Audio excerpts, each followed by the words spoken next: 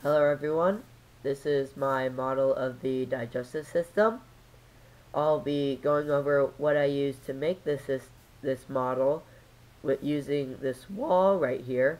And then we're going to take a look inside the digestive system itself to see how it operates from the inside. Now without further ado, let's get started. Over here on the far end, we have the element of the mouth.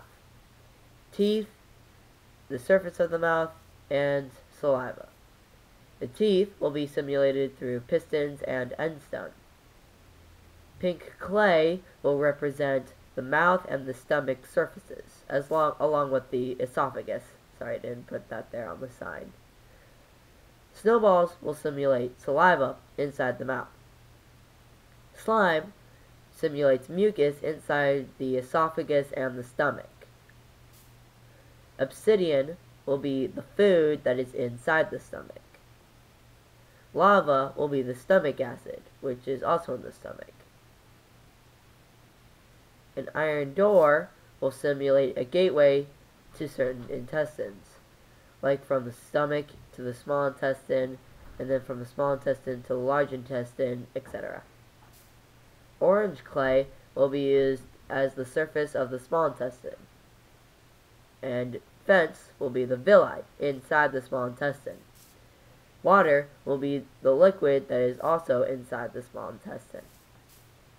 Netherrack is for the surface of the large intestine, as you can see. And dirt is poop, which is back there behind the sign. I used brown clay as the liver, which is right there. I used green clay as the gallbladder, which is right there. And I used the sponge as the pancreas, which is just under the stomach right there.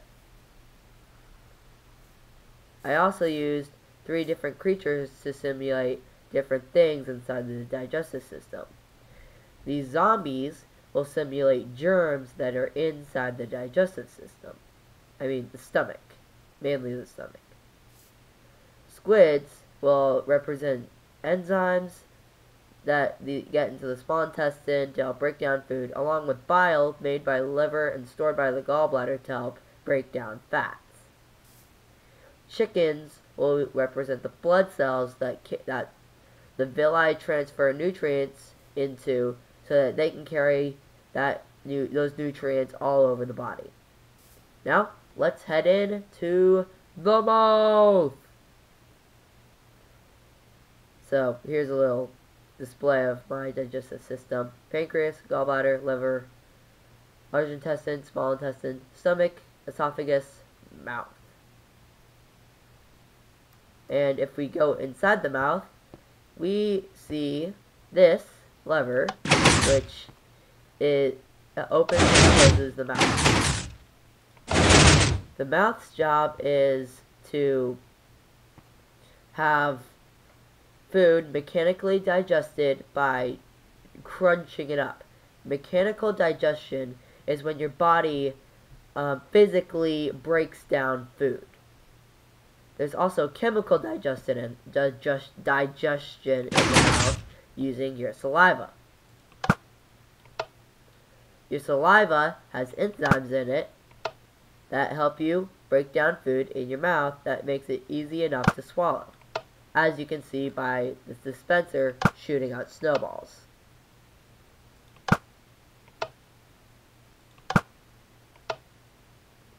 Now, if we go down the esophagus, it, it smooth muscle cause us to be pushed down until we reach the stomach. Now, I couldn't get that pushing action, so I simulate that through falling. And then, we end up in the stomach which is lined with mucus so that the stomach acid doesn't eat away at the outer walls of the stomach. Now, surprisingly, the stomach is it has the most amount of mechanical digestion. I know, right? It's very surprising. I thought the stomach was all chemical digestion. But I was wrong. The main function of the stomach acid is to um, make sure that food um, dissolves into a liquid that can be easily absorbed by the small intestine. Its secondary job is to get rid of any germs. Just like this. See? No more germs.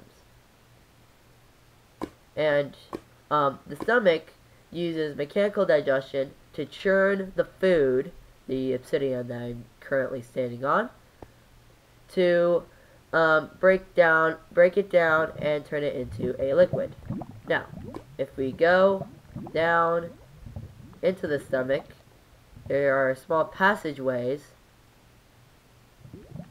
that will lead us to the small intestine.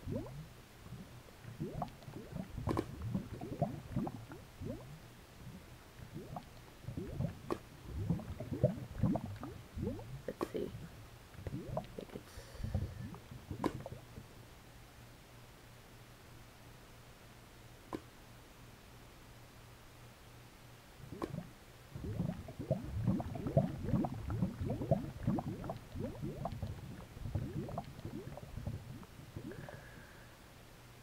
Alright, I think I found it.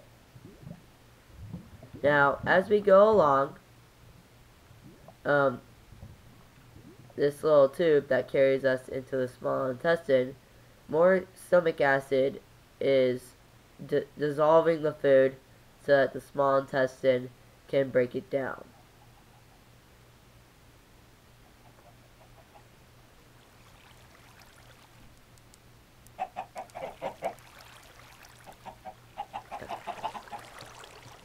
Here we are. The small intestine. There, much better. Now we can actually see. The small intestine's main job is to help absorb any nutrients that um, are here in the in the small intestine now, and get rid of any extra digestive stuff that didn't get digested by the stomach. That uses bile and enzymes that are stored in the liver and pancreas. Now, as we go here, we have a representation of the blood cells holding nutrients and carrying them to the rest of the body.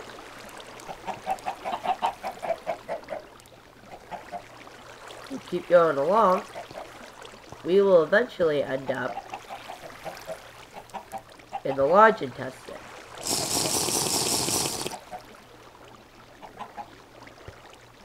The large intestine's job is to remove any water that may have gotten that may have gotten into the large intestine. That is to solidify any waste products that made it this far into what we know as feces or poop. It's also so that you don't have uh, too much water in your large intestine.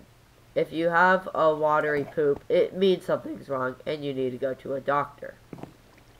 Now, as we travel along, you'll realize, wait, what is that hole right there?